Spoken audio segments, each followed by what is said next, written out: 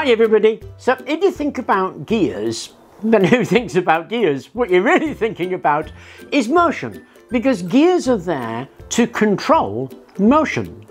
And you only really have, surprisingly enough, three elements. There is rotation, there is sliding or translation, and you can add those two together to get rotation and translation at the same time, which is of course exactly what a screw is. But then gears don't operate in isolation, they actually go into a machine and a framework and they're held in relation to each other. Because again, there are only really three ways to hold them into relation with each other. And here, where the gears lie on a plane, the axles are parallel to each other, they're like that.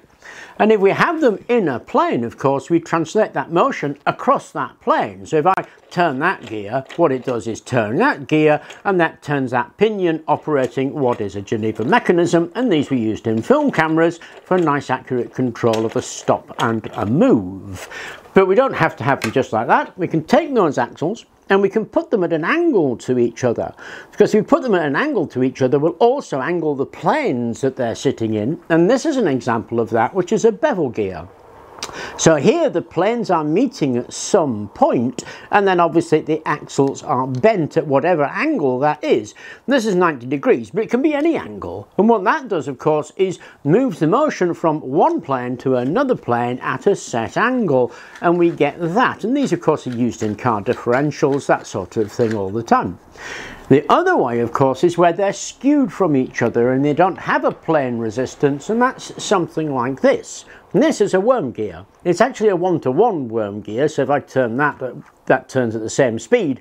You might be more used to seeing a worm gear where you get a speed differential, but worm gears are an example of where the planes are skewed from each other. Now these three examples of course are all examples of rotation but we did say that there was a different kind and that is translation and one of my favourite examples of a rotation and translation is this. It's called the mangle gear. The mangle gear is like a rack and pinion and great for moving something backwards and forwards. Like that. this is actually one of my favourite gear mechanisms in fact. So those six principles are what gears are all about. We've got three principles governing the motion, which is rotation, sliding or translation, and screw. And we've also got three frames of reference, either in the plane, at an angle so they meet in front of the gears, or skewed to each other.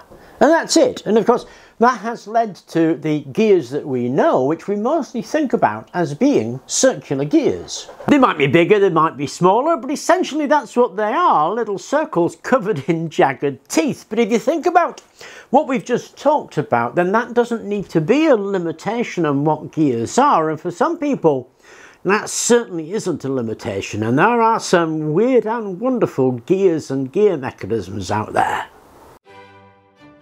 This is a cube gear, which is essentially a set of bevel gears, eight bevel gears where the axles meet in the centre of the cube. Perhaps the earliest example of this was by Emmett Lalish. Emmett's also created something called the heart gear, which is pretty much the same principle.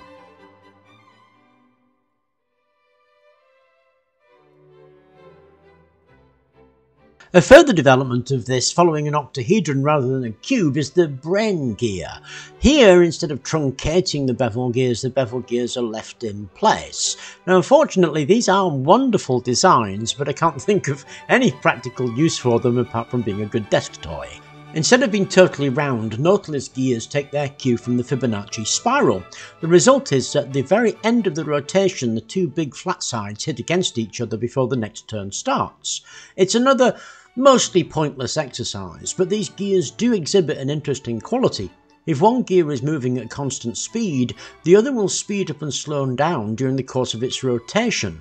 That's got to be good for something, yeah?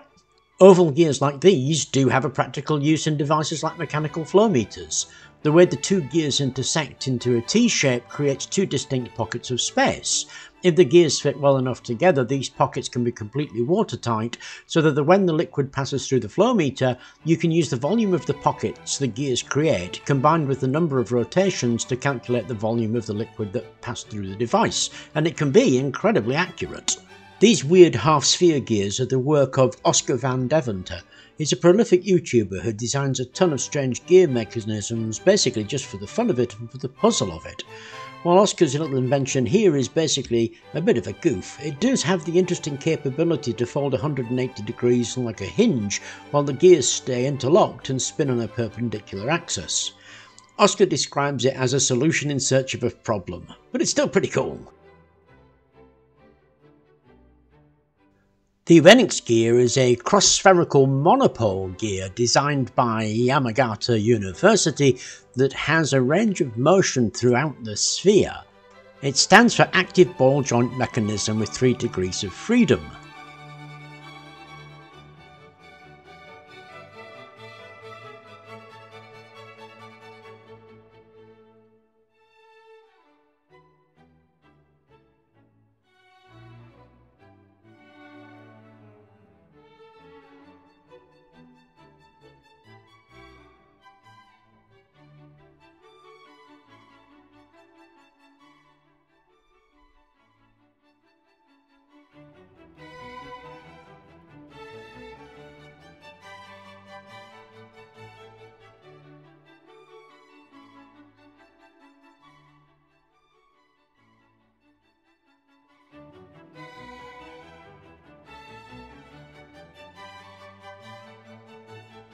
It's been used in robotics and is truly awesome. There are several STL files available on Thingiverse for anybody who wants to try this.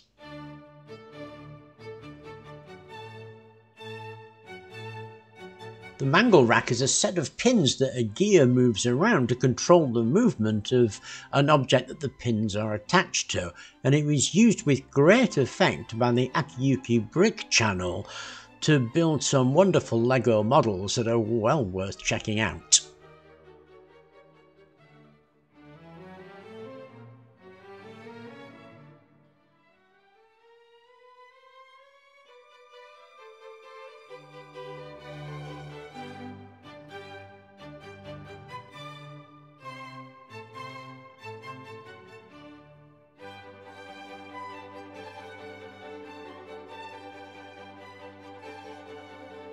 Another really interesting mechanism with no real application is the trio of interlocking pieces in a rectangular version of a mathematical phenomenon called Borromean rings.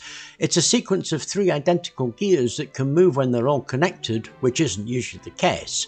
It's a fun little curiosity, but I don't really see that they serve a purpose other than just being fun to fiddle with.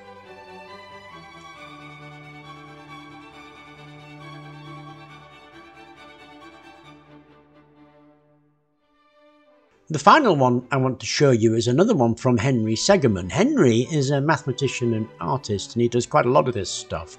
It's yet another piece of art, but this system of gears includes three inseparable interconnected donut shapes, all powered by a single corkscrew spindle that juts up to the centre of the whole thing. It's not a lot of practical use, but it is a fun little desk ornament and it is a pretty awesome gear set. So I only picked 10, but I could have gone on for ages because there are so many and I tried to get a selection of gears that I thought were fun, interesting and useful and I'm sure that people have their own favourites that I don't know about. So if there's something that you think that I should know about or something you want everybody else to know about, leave a comment and that'll allow me to have a look into that and see what else is out there. Now all of the stuff that I've covered, I've put links to the credits and where it came from in the description. So if you're interested in anything that you've seen and you want to follow it up, just go to the description, the link is right there, click on it and it can carry you through, including to some STL files if you want to print these out yourself. Anyway, I just wanted to illustrate the idea that gears are much more than we might think they are. I hope you enjoyed the video. Thank you very much for watching and please do remember to like and subscribe.